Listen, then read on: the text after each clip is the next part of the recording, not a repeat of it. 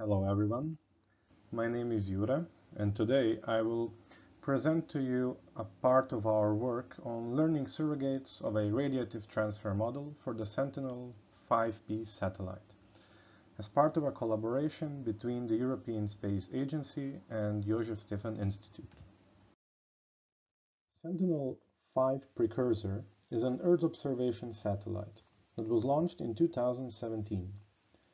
It features the Tropospheric Monitoring Instrument, TROPOMI, a spectrometer that provides global information on air quality and greenhouse gases, such as carbon monoxide, methane, and water vapor.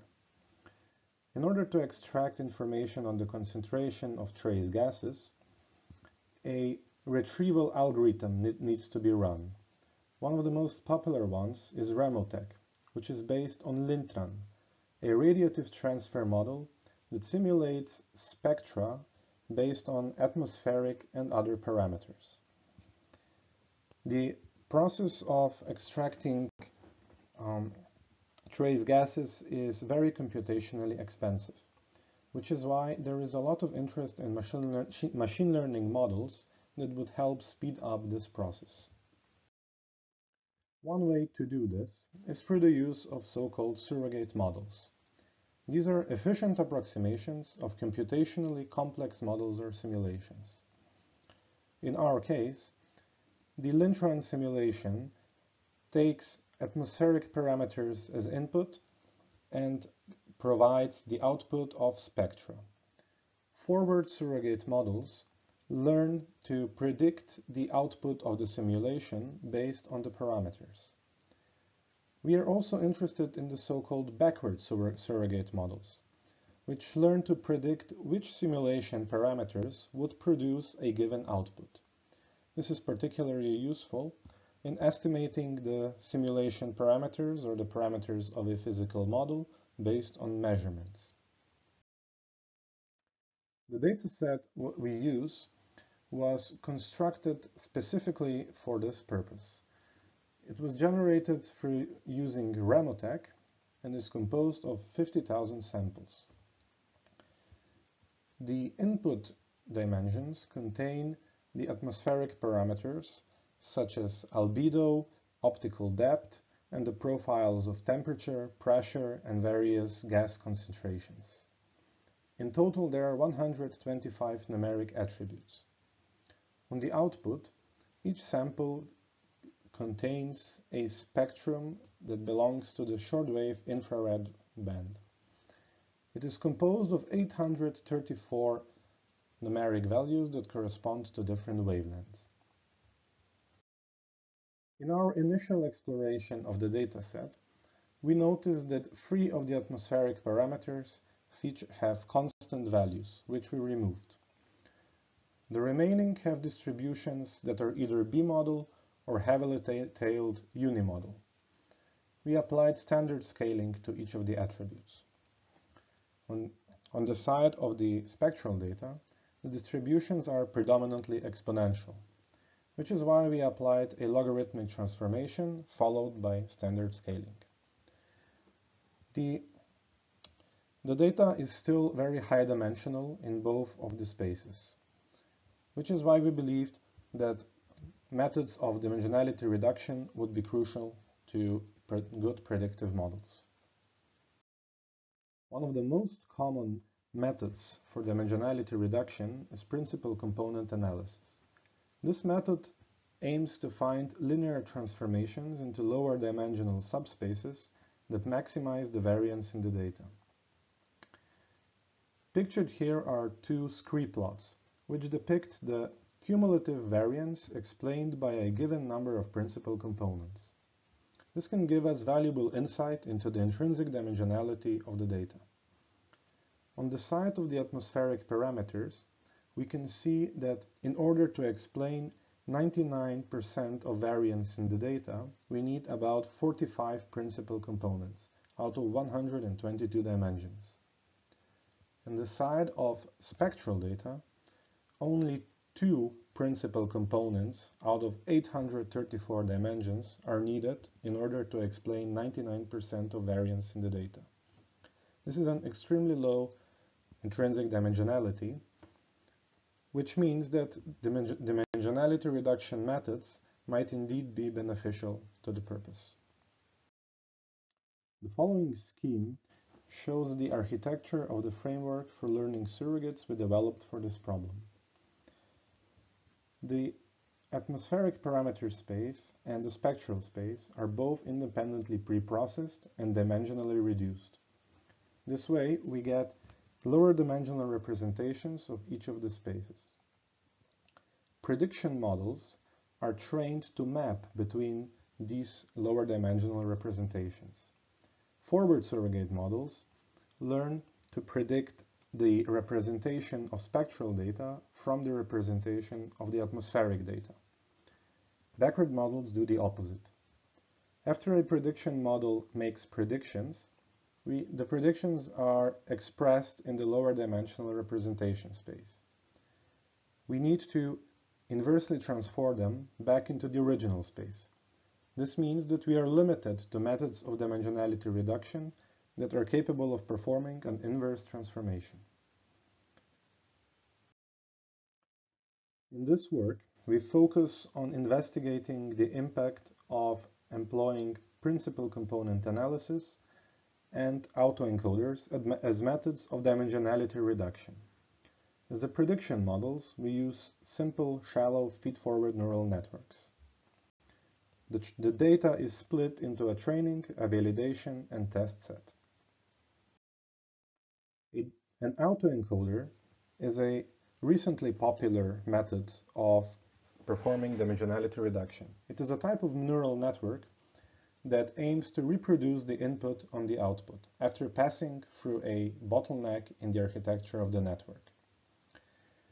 After training, the network is split into two.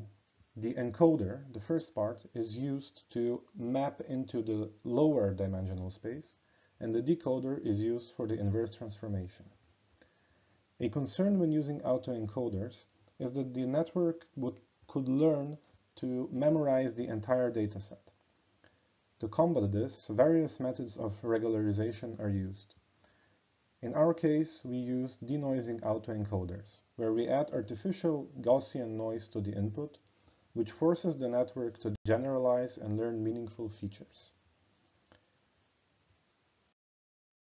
First, we investigate the reconstruction error of denoising autoencoders and PCA. We are answering the question, how well can we reproduce the original data from a lower dimensional representation? As a metric, we use root mean squared error of the reconstruction. The table below features three different three autoencoders with varying levels of added Gaussian noise, as well as PCA. In the case of atmospheric parameters, the best performer is an autoencoder with no added noise. In the case of spectral data, all three autoencoders perform similarly and they all outperform PCA. Secondly, we move to supervised learning. We employ a shallow neural network with two hidden layers to map between dimensionally reduced spaces. We're again comparing the three different autoencoders, PCA, and baseline. The baseline is the mean of the targets on the training set. This time the metric of choice is root mean, the root mean squared error of prediction. In the case of forward models, the best performer uses an autoencoder with a little bit of added noise. It outperforms PCA and both of them significantly outperform the baseline. In the case of backward models, all three autoencoders, as well as PCA, have similar performance, and they all outperform the baseline, although not as dramatically as in the case of forward models. In the previous comparisons, we used 45 dimensions for the representation of the atmospheric parameter space and 2 dimensions for the representation of the spectral data. These values correspond to 99% variance explained when using PCA. Next, we wanted to investigate the effect of using different dimensionalities of representations on the quality of prediction.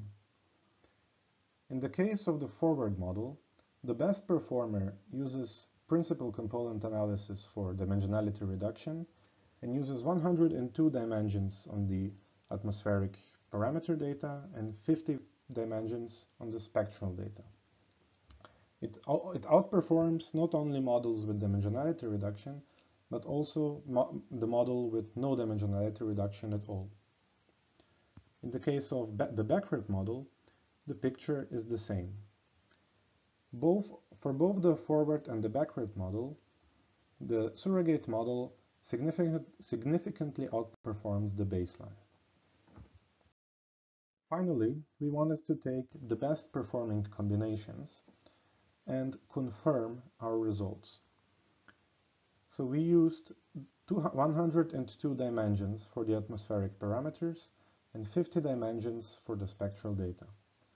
We employed tenfold cross-validation and computed the coefficient of determination. We compared the best model using dimensionality reduction as well as a predictive model with no dimensionality reduction. In the case of the forward model, the results are very good, and dimensionality reduction is not able to offer any improvements.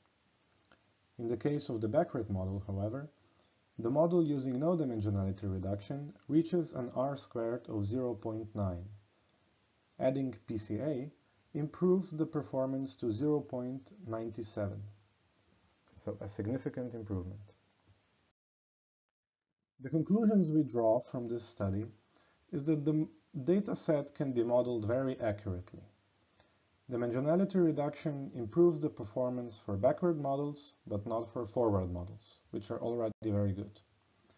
Dimensionality reduction also improves the speed of prediction by about one-third. The purpose of surrogate models is to improve computational efficiency, and this is indeed achieved. achieved. Making predictions for the sample of 5000 points takes the surrogate models less than one second and would take the original simulation several hours or days. However, the very low intrinsic dimensionality of the spectral data indicates the possibility of an artifact in the setup of the dataset that might be related to the sampling of certain parameters. In further work, we wish to investigate this possibility of this artifact further. We also intend to test and evaluate other models for prediction, such as ensembles of regression trees. We also intend to employ a more rigorous hyperparameter optimization. Furthermore, the resulting surrogates will be implemented, implemented into the trace gas retrieval scheme and this uncertainty of surrogates at the trace level will be able to be evaluated. Once this is done, we will be able to assess the trade-off between the computational speedup and the loss of accuracy that results in using surrogate models in the trace gas retrieval scheme. Further down the road, surrogates of more complex physical models for the atmosphere might be employed that were out of reach at the moment because of computational complexity.